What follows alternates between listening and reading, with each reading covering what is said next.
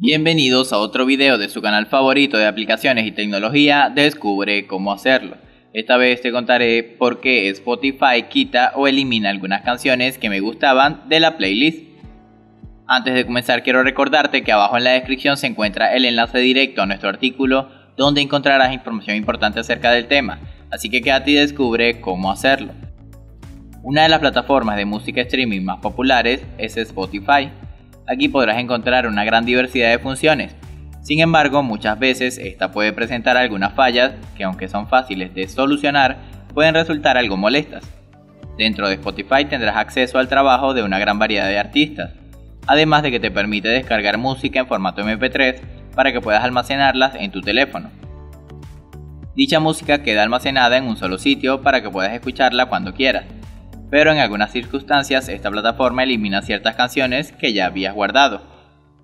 Este tipo de acciones tiene diversos motivos. Uno de ellos es por desacuerdos con las disqueras. Puede ocurrir porque ha habido inconvenientes en la renovación del sello disquero o el artista, así que la canción ya no puede seguir siendo escuchada a través de esta plataforma.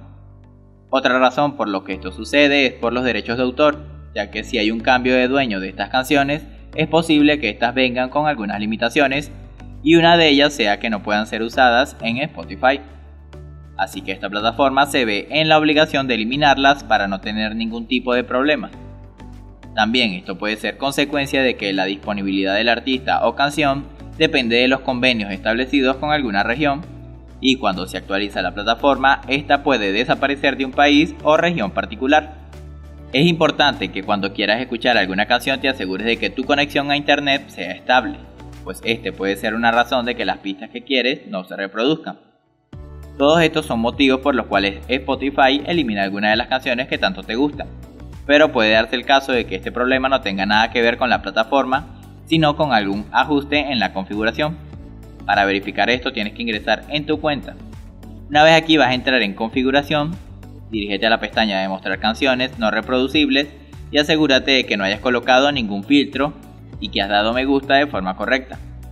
Otra solución es hacer un cambio de VPN o buscar la canción otra vez y agregarla a tu lista.